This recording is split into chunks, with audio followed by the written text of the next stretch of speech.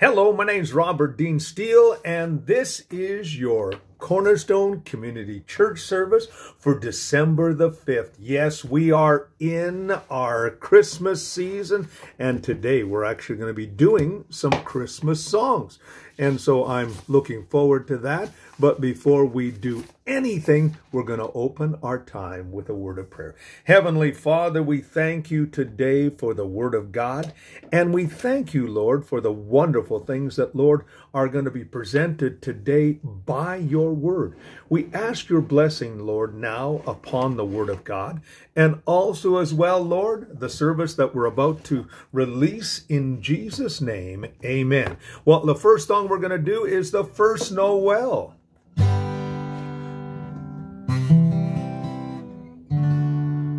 Find the right key here. The first Noel,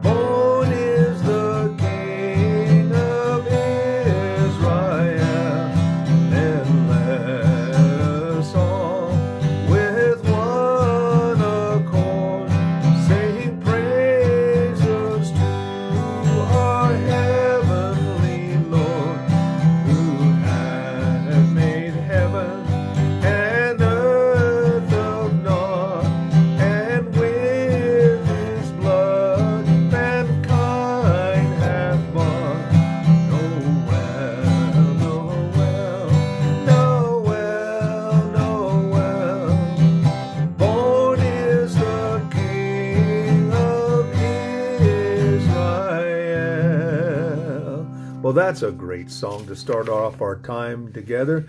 And uh, so the next one we're going to do, of course, is O Little Town of Bethlehem. And I like this song. So.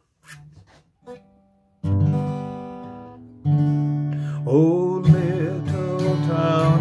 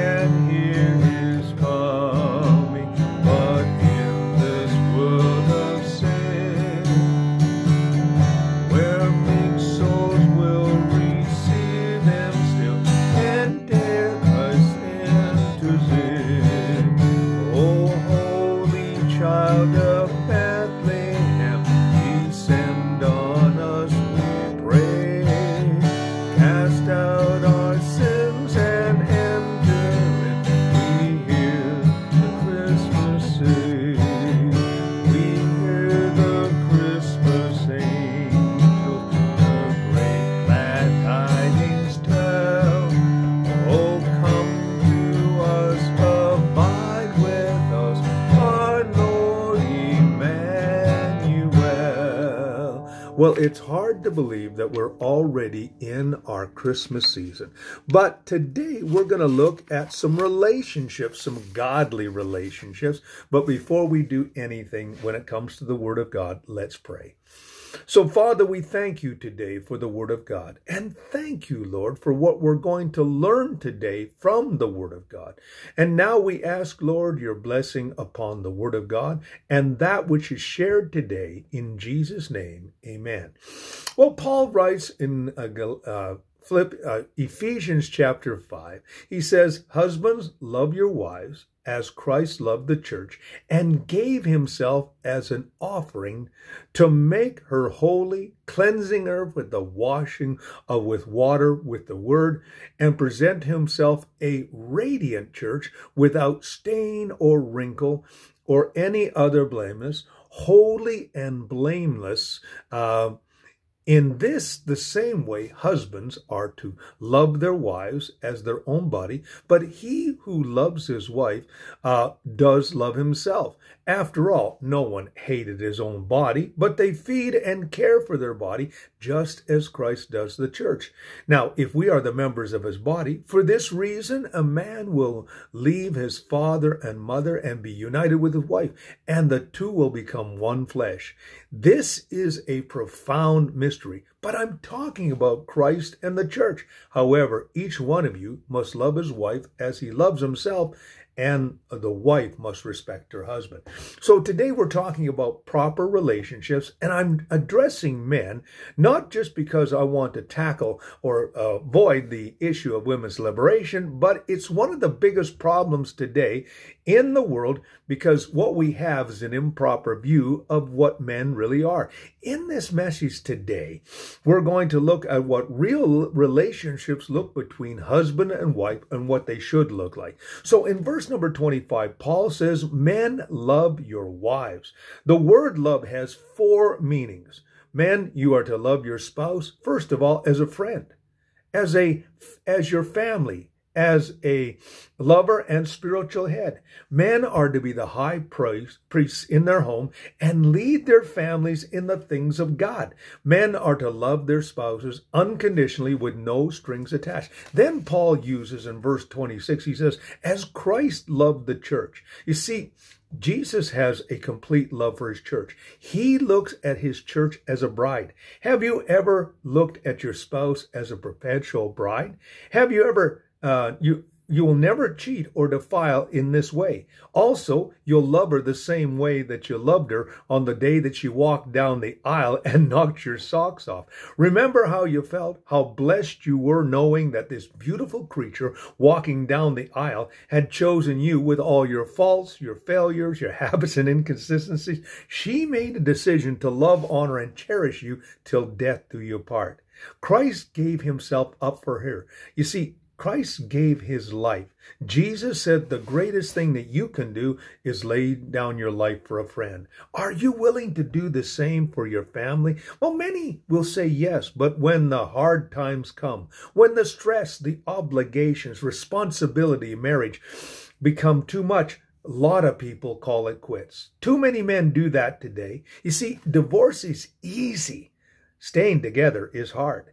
The only cause for divorce in a Christian marriage is adult, idol, uh, adultery or the non Christian partner saying, uh, we want to leave, then the Bible says, let them go so that both you can live in peace.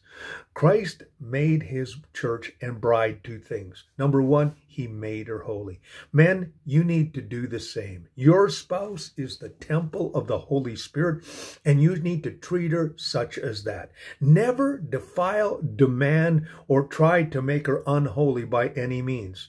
It could be by you, what you say, imply, do or even think about here. The second thing is that he cleansed her with the washing of the word. That means as the spiritual head and high priest over your family, your time together in family devotions, private prayer, where you speak the word of blessing over her. You call her the bride of Christ. You call her a victor, an overcomer, and also a conqueror. Tell God how much you love her. This reminds you and her God and God why you loved her and respect her. Never say anything bad about your spouse in private or to other people.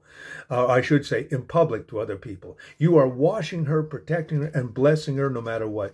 And Christ is proud of you as his church. He knows every fault, he knows every failure, he knows every sin you possess, but he still loves you. He sees you not as you are right now, but as you shall become. Do you ever see the potential and worth in your own spouse today? In verse number 27, Jesus sees us as the church, as radiant, without stain, wrinkle, or blemish. Men, is that how you see your spouse? She overlooks your obvious failures, your habits, faults. Can you do the same for her? Because men are generally task orientated or non emotional, we often overlook the opinions, the needs, the wants, and desires of our spouse, or we just blow it off as a woman thing. Paul says we need to see her as blameless and holy. Remember, God is talking to a bunch of people who had just left paganism and idolatry and had no idea what a godly relationship was all about. This was a relationship guide for them. He's giving them a proper view of each other. Remember, most of the men at that time had been, before their conversion, cavorting around with prostitutes and being basically immoral. How a man treats his spouse also reflects on how he sees himself. Abusive people actually hate themselves and take it out on others. These qualities that you attack in others are actually things that you see lacking in yourself. Truth be told, when you hate others, you are actually hating yourself. Hurt, bitterness, and unforgiveness color everything you think, you say, and do. Paul makes an assumption here that everyone does not hate themselves.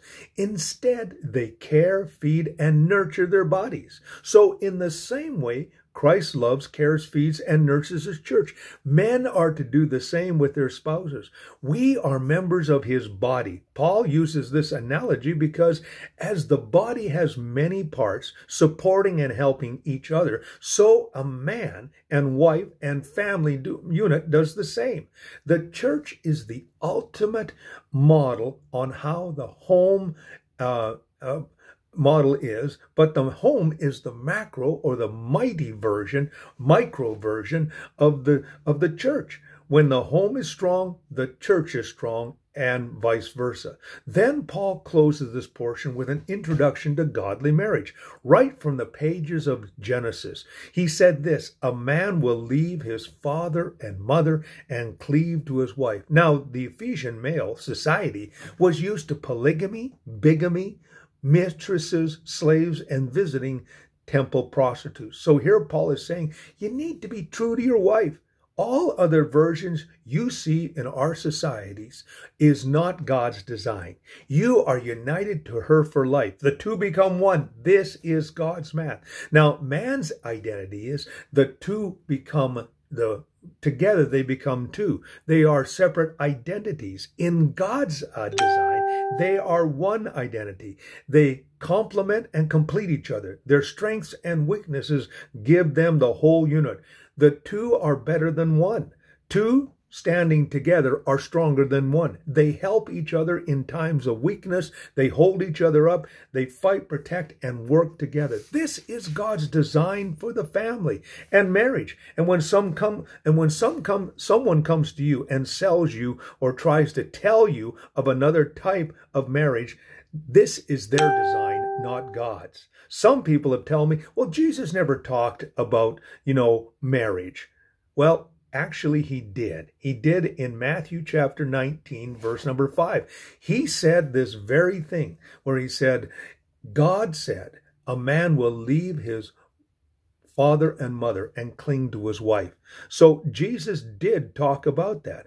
God's planned marriage is man and woman, not some other version as some people proponent today. Paul's day, it was even bad or even worse than it is today. Paul says this is a mystery of Christ and his church. The church is a bride, a complement to Christ.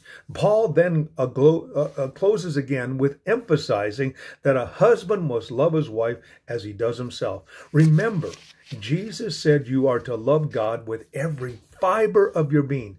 And when you get healed, this enables you to love others as you love yourself.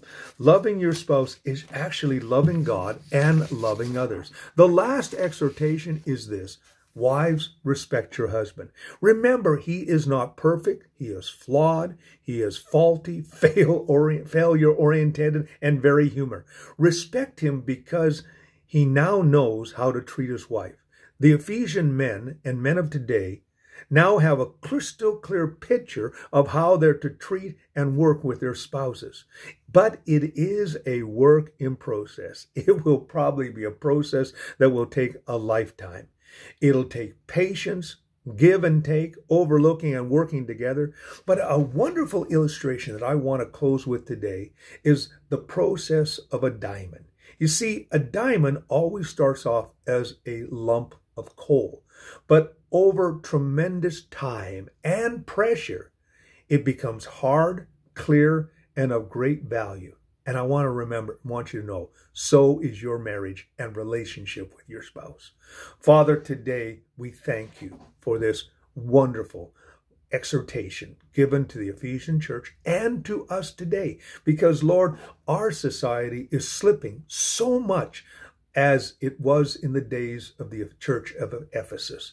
We ask that, Lord, today that you would enable us, Lord, to be men and women of faith now, if we've not given our lives to Jesus Christ, then we, of course, are, if we're in a relationship, especially a marriage relationship, Lord, we don't have the third partner, and we need that third partner. I'm going to invite you to give your life to Jesus right now, and He can be a partner in your life. And if you are married, a partner in your relationship with your spouse. Dear Heavenly Father, right now I receive you as my Lord and my Savior. Thank you today for the eternal and abundant life that only you can bring. Right now, in this moment, I'm receiving you as my Lord and my Savior. And I'm asking you, Lord, today to help me to treat others as you have treated me with love and respect. I ask this now in Jesus' name. Amen. Well, this is the time where we also pray for your need. You may have a physical, spiritual, emotional, intellectual, financial, or family need. It could be large or small. But I want to remind you two things today. He is Jehovah Jireh, our provider. That means that he'll supply every need according to his riches and glory. And number two, he is, of course, our healer, Jehovah Rophi. So right now, we'll start off with praying for your need and then praying for your healing. So Father, today we thank you for the fact that you are Jehovah Jireh, our provider. In this moment, Lord, you're going to supply every need according to your riches and glory. We're receiving that right now in Jesus' name as well, Lord. In this time and place of prayer, we're also asking that right now you will heal us. You are the healer and 1 Peter 2.24 is the promise that we stand on today. By your stripes we're healed. So right now, Lord, whether we find ourselves at home or in hospital, no matter what we're dealing with today, and also as well, Lord, there are people in our life situation that need your touch. So Lord, would you bring healing to them as well? We ask this now in Jesus' name. Amen. Well, I want to sing to you one of my favorite songs. We Three Kings. We Three Kings of Orient are tiring gifts we traverse